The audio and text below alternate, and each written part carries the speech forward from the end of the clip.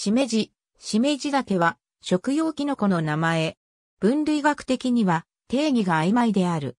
キシメジカシメジ属、本シメジキシメジカ白タモギタケ属のブナシメジヒラタケかヒラタケ属のヒラタケシメジといえば、本来、キシメジ科のキノコ、とりわけキシメジカシメジ属の本シメジを指す。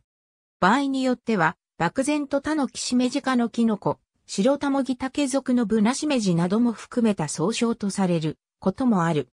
本シメジは生きた木の外生菌根菌であるために栽培が非常に困難であり、ほぼ天然物に限られ希少なため高級品とされる。ほとんど流通していない。かつて、本しめじの名で流通していたキノコは、キシメジか白玉ギタケ属のブナシメジの栽培品である。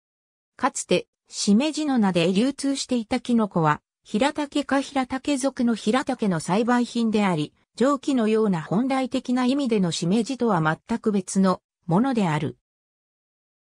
日本には食用キノコを表して、香り松茸、味しめじという有名な句がある。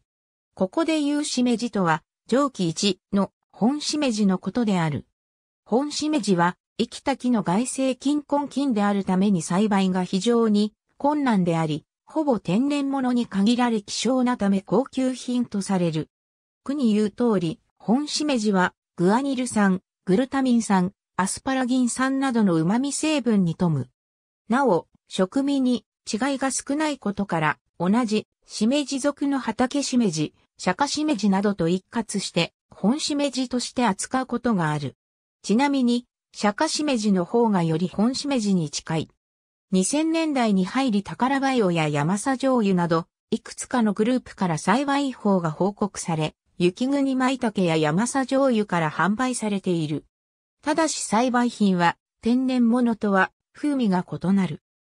ブナシメジと比較した場合、キノコの主な旨味成分であるグルタミン酸やグアニル酸や糖質のトレハロースの含有量に差があり、それが味の差という説が紹介されたこともある。蒸気にのブナシメジの栽培品。普通に流通しており、食用とする。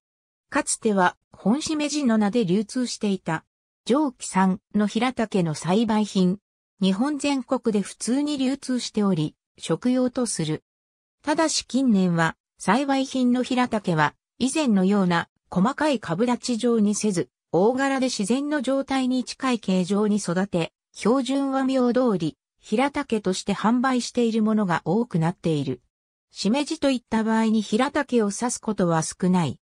先に挙げたもの以外で、しめじを名称に用いているキノコとしては、裏紅補定しめじ、木しめじ、小紫しめじ、桜しめじ、霜降りしめじ、ハエトリしめじ、畑しめじ、春しめじ、紫しめじなどの多くの食用キノコがあるが、一本しめじ、柿しめじ、ネズミしめじなど、毒キノコにも一部、しめじの名の付くものがある。ありがとうございます。